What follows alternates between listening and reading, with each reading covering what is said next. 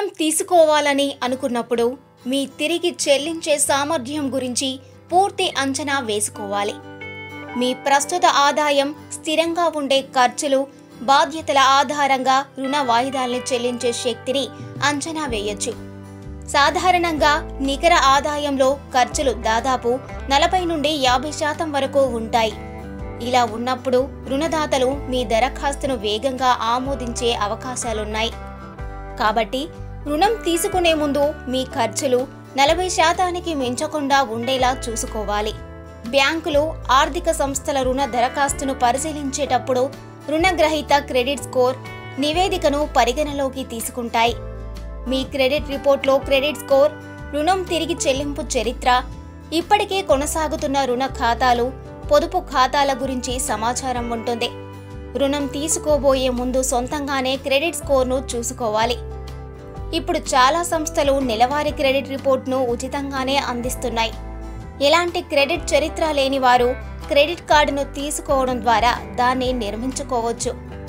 రెండు మూడేళ్ళ పాటు బిల్లు చెల్లింపులు సరిగ్గా చేస్తే మంచి స్కోరును సాధించవచ్చు. ఏ అవసరం కోసం రుణం తీసుకుంటున్నారు అన్నది ముఖ్యం.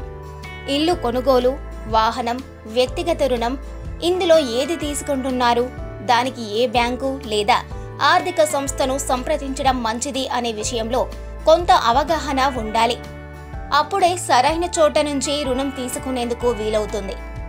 చాలామంది గృహ రుణం తీసుకునేటప్పుడు బ్యాంకులను మాత్రమే పరిశీలిస్తుంటారు.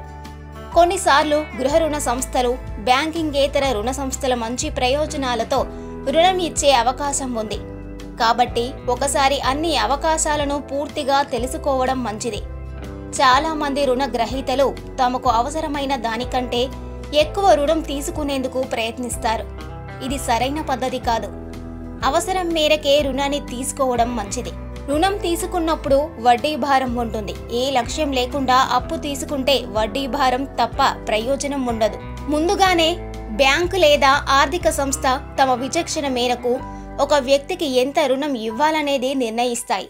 సాధారణంగా వయసు నెలకు నికర ఆదాయం ప్రస్తుతం ఉంటున్న నివాసం వివరాలు ఉంటాయి. మీరు సంప్రదించే బ్యాంకు ఎలాంటి షరతులతో రుణం ఇస్తుందన్నది ముందు తెలుసుకోవాలి. లేకపోతే దరఖాస్తు చేసిన తర్వాత అర్హత సరిపోలేదని తిరస్కరించే ఆస్కారం ఉంటుంది. ఇప్పుడు చాలా బ్యాంకులు ఆన్లైన్లోనే రుణాన్ని ముందుగానే మంజూరు చేస్తున్నాయి. మీ బ్యాంకు నుంచి ఇలాంటి సౌకర్యం ఉందా అనేది తెలుసుకోండి.